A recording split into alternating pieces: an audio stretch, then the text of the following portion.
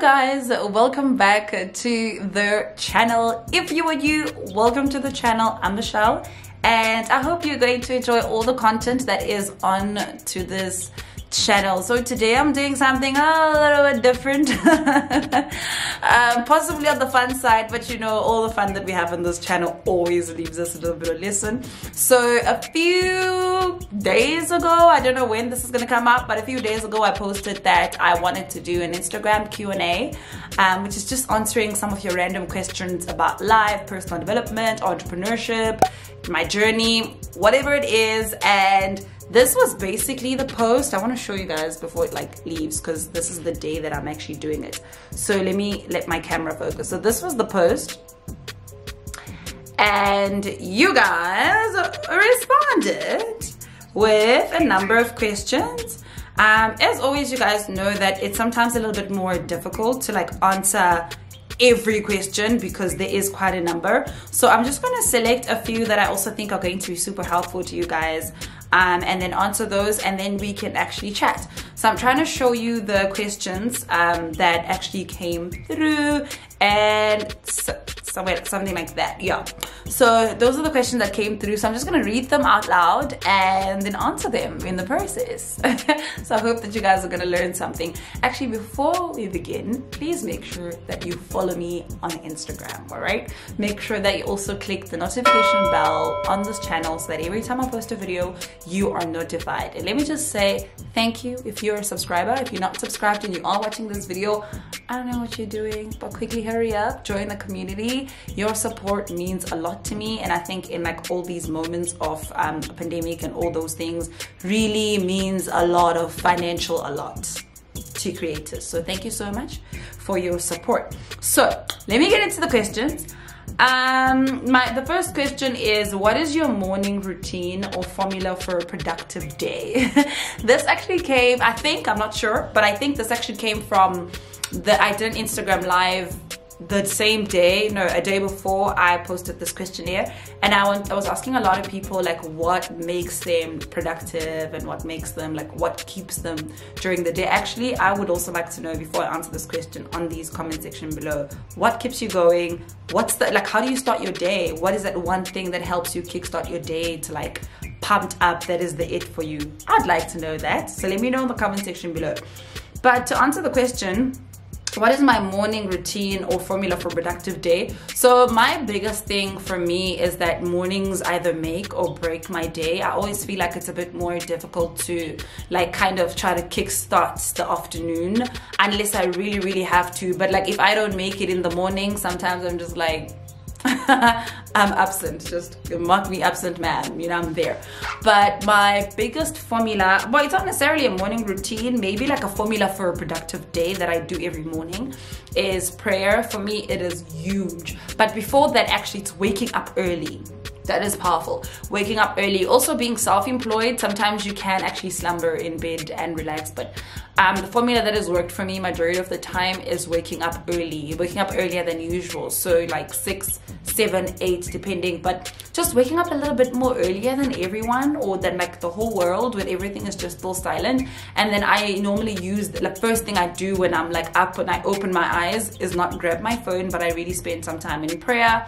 Um, i will read my bible i read a couple of scriptures or continue reading a story but it just yeah I, there's something i post on my twitter a lot and that's start your day with god. That means a lot to me. That's something i am consistently practicing just start your day in God. And if you've been on this channel for so long, you know what I mean when I say consistency. Consistency is frequency. That's it. So that's what I do. Um, just getting up earlier and spending some time in prayer, spending some time in just deep prayer. And sometimes it's not always about like having a three hour session with God sometimes I do get the privilege to have that. Sometimes it's just that 20 minutes in the morning of just me just thanking God for the day, telling God what my plans are, just sometimes even just worshiping. But that for me is amazing. And then the third thing I do when I after I've done my prayer and um, uh, my prayer time in the morning is I quickly take a bath. So I don't know about you guys, but it is very difficult for me to like get productive if I haven't like cleaned myself up. Um, so I do that, but before I actually bath, I first clean around my space, um, mainly because I also struggle working in a, in a space or in an environment that's not entirely clean. So this is basically the flow of this morning routine. Hopefully, maybe someday I'll do a video for you guys. I'm still trying to learn how to do uh, vlogs, but it's basically getting up earlier. It is spending some time in prayer. It is cleaning up my space and then taking a bath or a shower or just cleaning up, whatever it is, whatever needs to happen. And then fifth, having breakfast and then like I've got my full fist, get my day going, pump it up and just get my life together. So that's one. You see why I can't answer so many questions? Because I talk so much and it's like, we're like, what, six, five minutes into the video? My God, this means I'm only gonna answer a few questions. um okay the other question is okay so a lot of people are actually using this opportunity to tell me how awesome they think i am which i really appreciate so thank you so much um somebody also asked what is your morning and evening routine to stay productive. So I've told you guys what my morning routine is.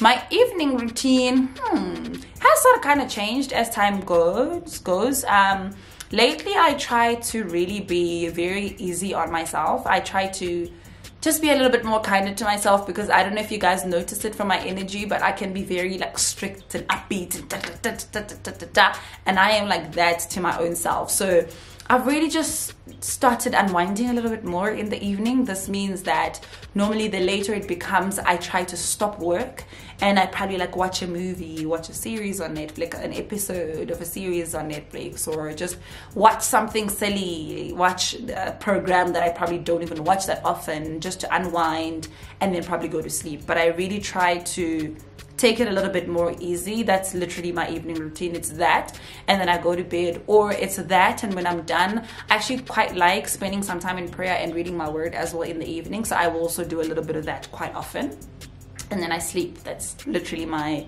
evening routine. And then someone says, um, How long have you been reading books? Does it help with being more well spoken? So I've been reading books ever since I can remember. Uh, my father, my late father, was actually a good reader and he loved books. The first book he ever gave me to read was um, Things Fall Apart by, uh, is it Chinua Achebe? I, I, don't remember. I don't know if I'm saying that right. Um, but yeah, that's the first book that he's ever given me to read, and the story inspired him, and he was just like, "You need to read this book." I think I read that book so many times. Um, and then coming into my work life, I was really in environments where a lot of people were readers, and that thing just fed onto me. I enjoyed personally just buying books and reading, so I've been reading for years, for as long as I can remember. Um, it does definitely help me with being a little bit more spoken, um, mainly because, like, I think, especially in the space that I'm in, I, I don't like not knowing what I'm talking about, and reading just kind of helps me and it gives me a little bit more perspective as well, like with life in general. Like it really gives me a lot of perspective on like different sides sides of life and just different things. One of the books I actually have it here with me that I've been sharing with you guys that I've been reading that has been so life changing. Well, a friend actually shared this book with me. Is this one? I Don't know if you guys can see it. That's a book it's been so low so so so so life changing so that's the book i've been reading now. Um, but yeah it definitely does. It gives you a lot of perspective. It helps you because the more you read like words and things that you see the more you it's it's like education. Like the more you are studying something for like a year the more you repeat something the better you the better you get at it. So it's really one of those things um, and then let's see. Okay, I'm gonna take one last question. I'll have to only take three questions. It's not like there were thousands, but there were quite a few. So I'll take one last question. Um, and that is what has been your biggest fear in life and how do you overcome or continue to move past that fear? This question on its own is one of my biggest fears. I'm joking. Um, my biggest fear in life is regret. My biggest fear in life is regret. Um, and I've shared this multiple times when I've done speaking engagements is that I fear regretting not having done something or regretting not having made a move or just regret as a whole, like just wallowing in not having done enough or not having tried enough, not having um, done a lot of things, uh, not having done what I thought was okay at that time. I think I think I fear regret more than I fear making mistakes because I always feel like when you make a mistake, you you at that point in time you didn't know better, and at that if it was a mistake, if you later find out that it's a mistake, at that point in time it's something that you wanted to do. So I never regret taking action, and my biggest thing is just regretting never having taken action. You guys know I'm like the queen of action. I love taking action. So my biggest fear is regret.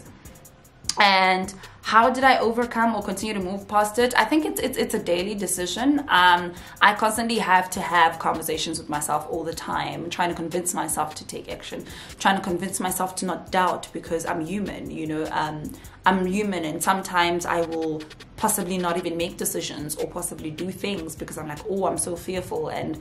Um, yeah, but what keeps me going is that just remembering that as a fear, remembering that I don't ever want to be in a situation where um, my biggest fear actually is um, holding me down, which is that regret. I don't ever want to be in a situation where I regret.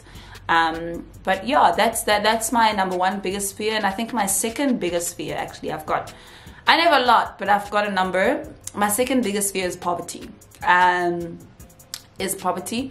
Um, I'm not too sure how many of you guys on this channel are privileged to my story. Um, but yeah, you know, I, I, never came from like riches of riches. Um, and I've, I've had several moments in my childhood life where um, there was lack, you know. And I think I've worked so hard that I continue to on a daily basis to never be in that situation again or prepare for something like that when it happens and just trust God in the process. But like to work hard. So that's also one of my biggest, just lack, you know, uh, poverty and not being able to make ends meet, like not even knowing when your next meal is coming. That's one of my biggest thing. And how do I move past that? I work as hard as I can so that's really how I combat that. I just continue to work really hard and just trust God in the process, truly. But yeah, that's just, I talk so much, but I hope that answering these questions kind of gave you guys a little bit more insight.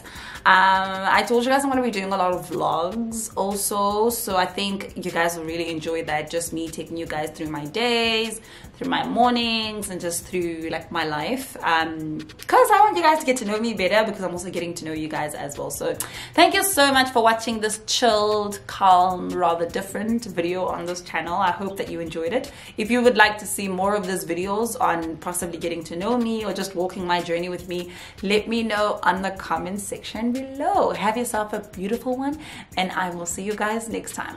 Mwah! Bye!